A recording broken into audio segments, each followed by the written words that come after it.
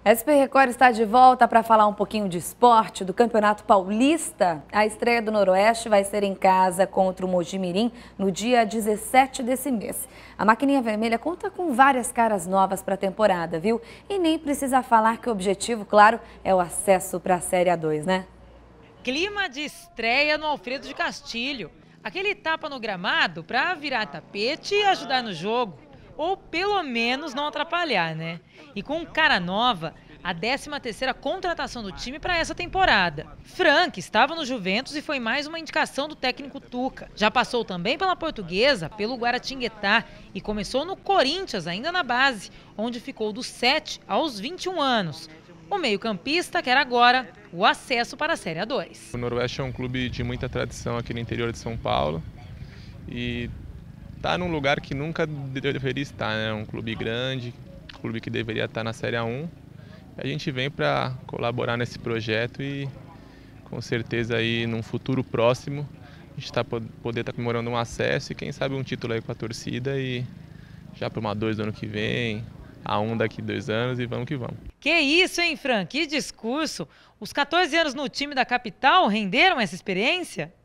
um pouquinho, né? Lá a gente falava bastante, desde moleque acompanhavam treinos, jogos, e aí a gente treina um pouquinho para quando vier aqui não falar bobagem. O time dessa temporada é mesmo experiente. A média de idade é de 27 anos.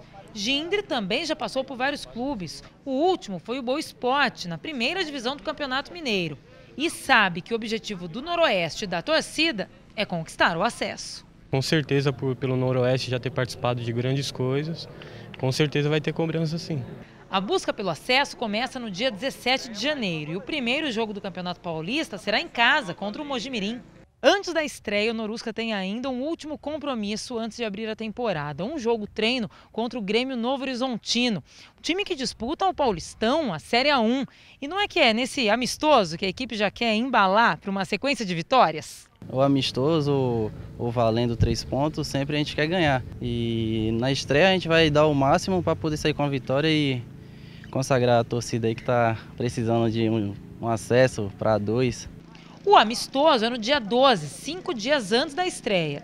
Para o técnico, um excelente momento para testar as peças-chave e definir o time titular. É o quinto jogo amistoso, a gente ainda não perdeu. Né? Então eu acredito que é uma partida difícil contra uma equipe de Paulistão, mas que vai nos dar o limiar de jogo que nós precisamos aí, em termos até de resistência específica, para poder estrear no dia 17.